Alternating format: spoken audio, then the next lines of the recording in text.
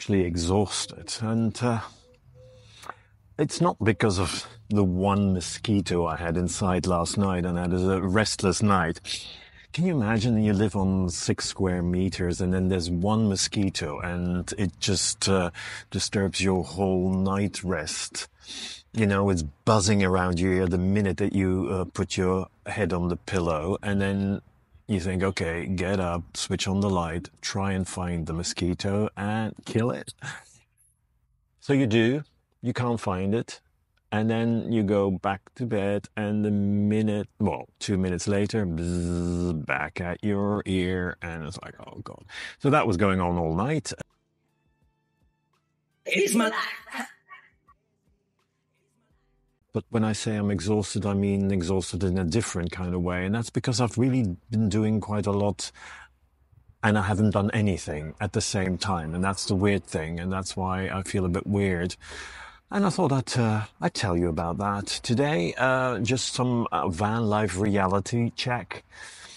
As you know, my um, alternator broke down and it was a whole story. And, you know, if you're new to my channel, by the way, hi, I am Jack and this is my van Dean and we've had some uh, alternator issues, let's call it that. There's a whole story that I can link uh, up uh, here somewhere and uh, feel free to go and check it out.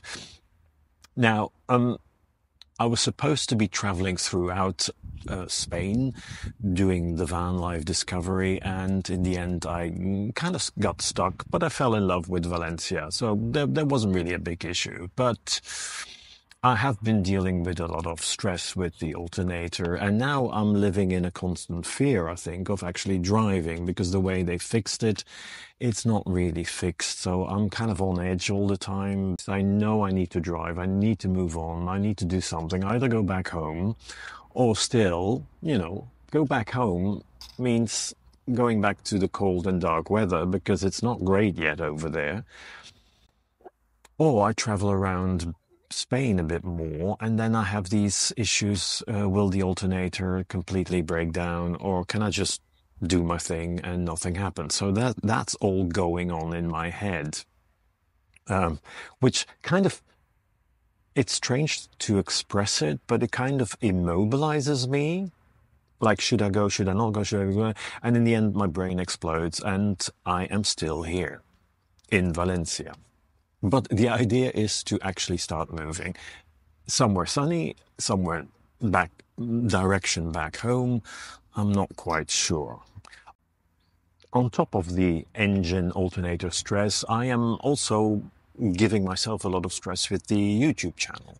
I, I love doing that, don't get me wrong, um, but it is new to me as well. This is a road to discovery on how to film yourself, how to even feel comfortable just, you know, putting the camera there while people are around you and then filming yourself.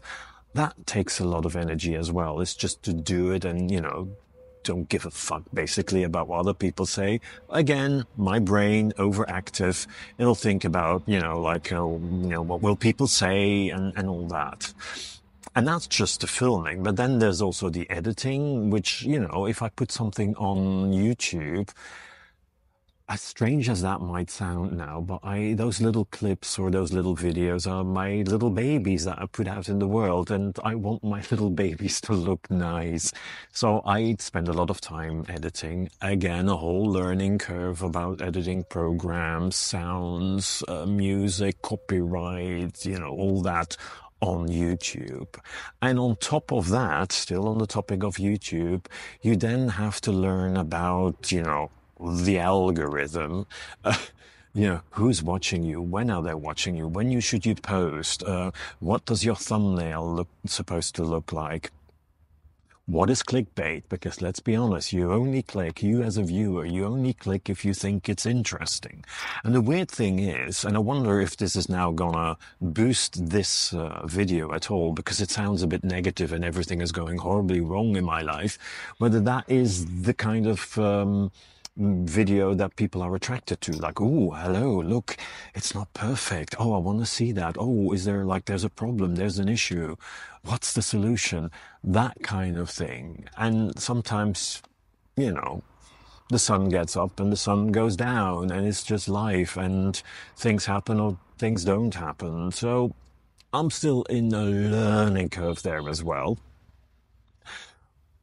The third thing that is stressing me out a bit as well is I'm like I said, I'm I'm loving all this. I really do. Every morning when I have my coffee, I think like, wow, you know, this is great. I'm blessed, I'm grateful, you know.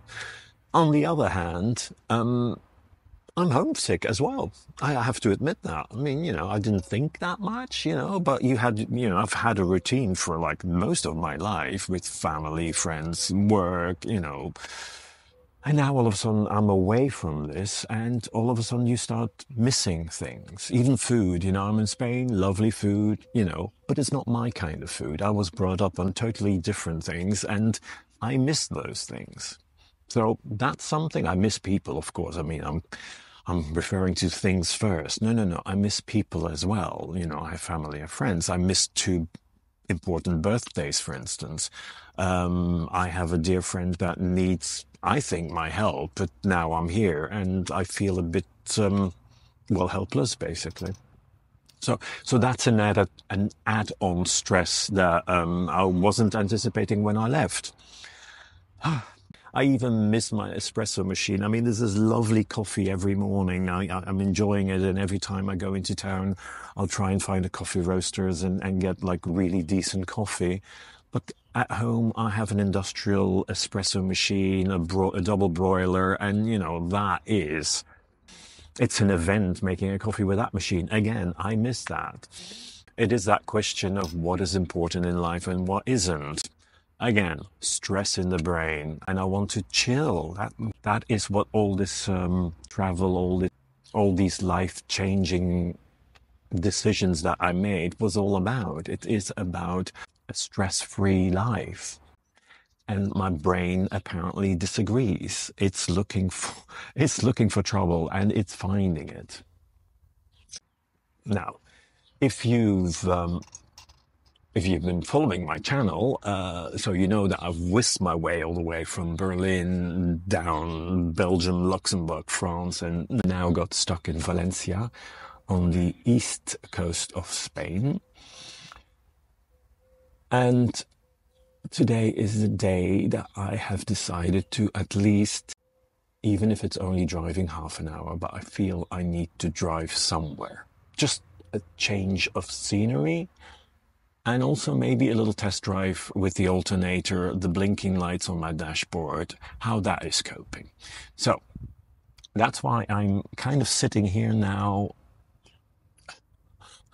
dumping my, my thoughts on you. I'm grateful that you're here and I'm grateful that you're listening to me and I hope you haven't clicked away yet.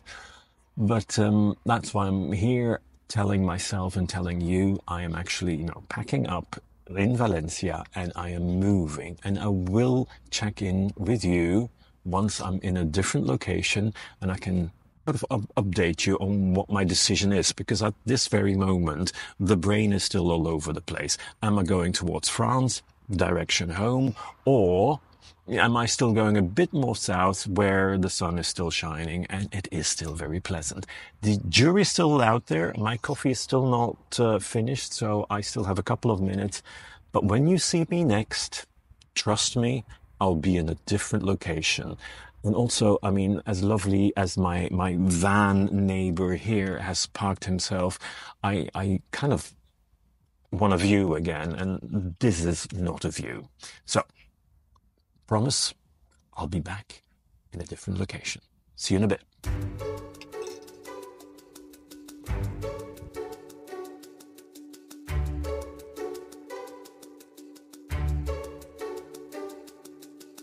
Oh. oh. Good morning. Well, well, actually, before I have my coffee, uh, answer me this question. Do you think I stayed or do you think I actually left? Answers on a postcard or after my first coffee?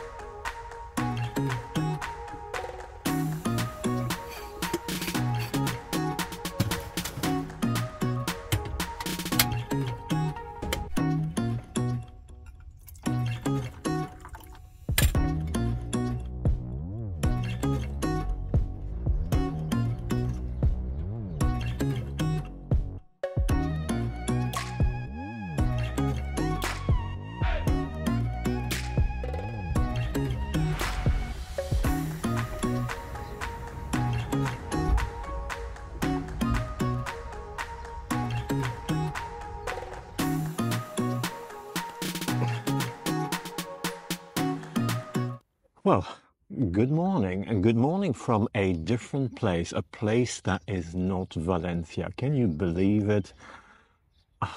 My brain uh, hardly can believe it now, but I actually drove about 300 kilometers. 300 kilometers, probably less, but it just felt like 300 kilometers. Anyway, I have moved well, I said I was maybe going to move uh, homewards, but to be quite honest, I moved uh, southwards uh, because I wasn't really sure where I was heading, whether I was heading north already going home or whether I wanted to try a bit more sun uh, in in Spain. So I decided to move uh, 200 kilometers southwards. I am now in the lovely city of um, I was going to say Valencia again. No, no, no, no. I've been saying Valencia for the last three months now. It's Alicante. I am in Alicante, which is uh, also, you know, at the Mediterranean. It's got a nice city center. It's got a couple of churches. It's got a castle on a on a mountain. So everything that you basically expect from a Spanish town. Um, as you might see, the park up a, I called it reality check, van life reality check. Well, as you can see, the park up is uh, not as glamorous as all those Instagram pictures that you see. I did try a couple of uh, beach um, park ups, but one was completely empty.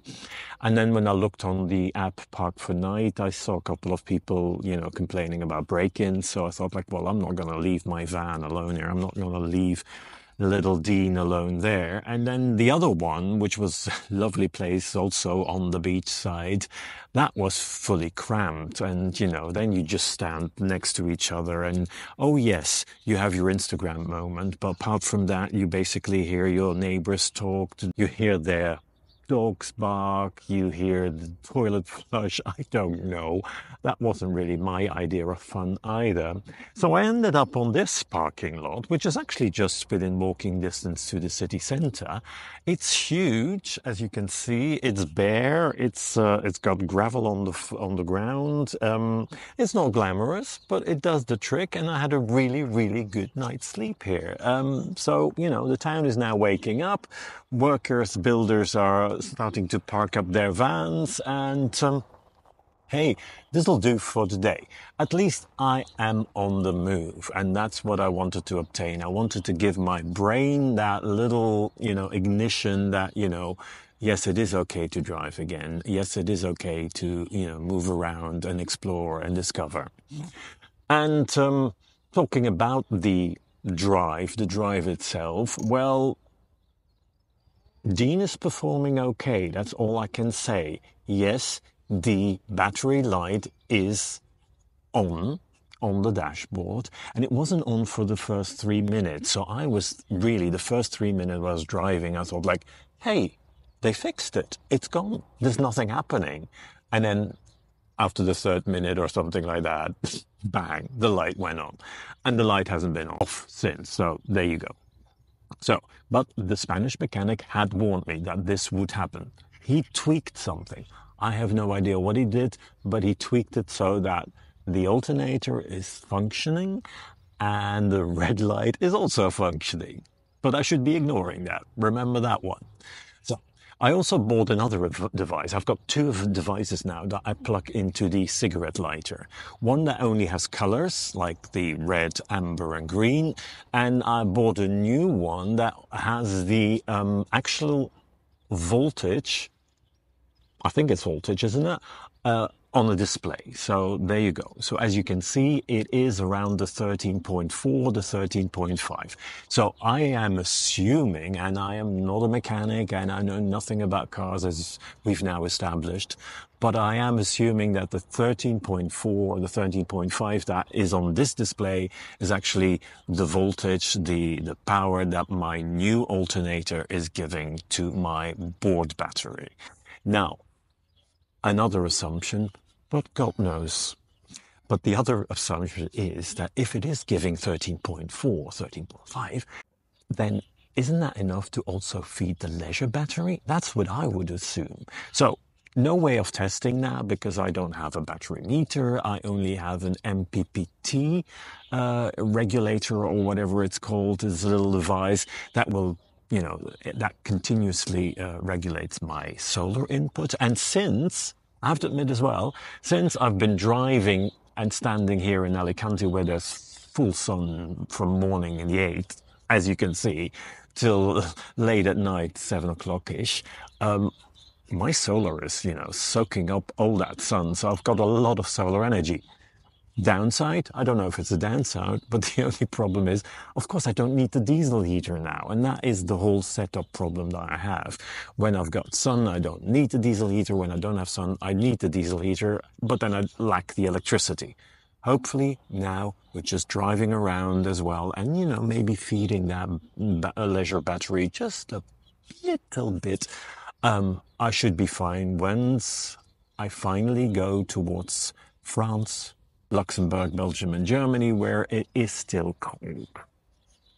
So that's the last update. Now, as lovely as Alicante is, I had, I had to walk around, didn't bring my camera, but you know, it's, it's lovely. Let's put it that way. But I'm now on the move and I feel like I should be moving on again, maybe try another location. And I think it is now time to move north um, because we're mid March now, and I maybe I would like to be home, if you call it home still, but home around April time and see some friends, some family, see the mechanic, the Ford garage, so I'm planning on driving around 300 kilometers a day and have a stop and overnight and then on to the next destination 300 kilometers away. So if I do it like that, I should be home in about two weeks time. Home, I mean friends, family and a Ford garage, of course. So, um, I will report back to you what the next station is.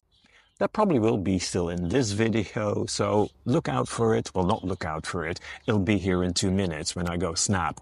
Um, okay, maybe I'll just do that. I go snap and see where we end up.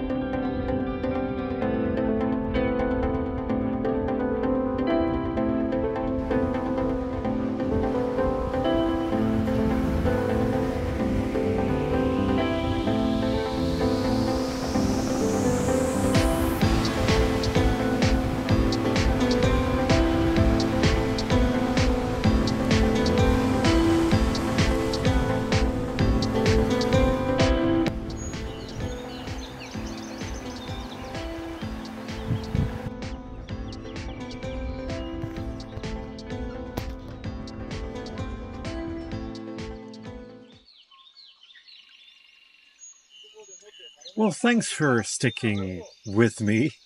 I hope you watch it to the end and uh, enjoy the sunset with me. I hope I wasn't too heavy and I haven't talked too much. Um, some people have said actually I have a soothing voice and they fall asleep listening to me. Not sure if I should take that as a compliment or not. But hey, I'm always grateful that you were here with me and uh, that you joined me on my travels because as a solo traveler, sometimes that is a lonely existence. And knowing that there are some people out there who, you know, are with me along the way um, gives me comfort. So, enjoy this uh, sunset with me and I'll see you next week. Who knows what will, who knows what life will throw at me.